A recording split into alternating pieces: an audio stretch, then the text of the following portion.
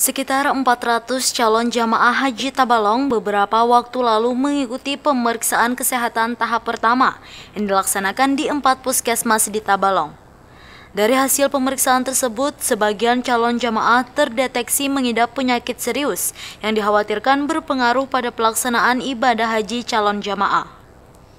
Beberapa penyakit tersebut yaitu 9% calon jamaah mengidap penyakit lambung atau gastritis, 21 persennya mengidap hiperkolesterol, dan terbanyak berpenyakit hipertensi atau darah tinggi, yaitu sekitar 36 persen.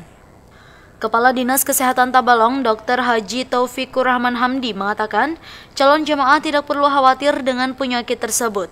Hanya saja calon jemaah diharapkan dapat mengatur pola makan, memantau tekanan darah, kolesterol, dan meminum obat secara teratur jika dibutuhkan. Kalau dia sudah positif, kalau penderita hipertensi yang jelas ya, kalau dia sudah positif hipertensi, itu jelas bagaimana dia selalu memantau tekanan darahnya dia orang percaya memantau dan selalu minum obat secara teratur. Ini menghindari nanti kalau tiba-tiba tensinya naik. Ini sampai mereka uh, berangkat itu tetap menjaga uh, rajin kontrol tekanan darah dan uh, selalu meminum obatnya.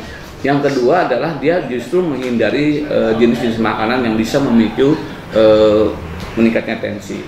Itu yang penting. Yang penting.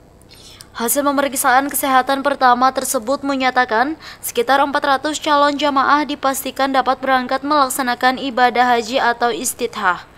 Sedangkan 18 calon jamaah dinyatakan istithah atau mengundurkan diri dan dua calon jamaah masih menunggu hasil pemeriksaan lanjutan. Muhammad Aditya TV Tabalong melaporkan.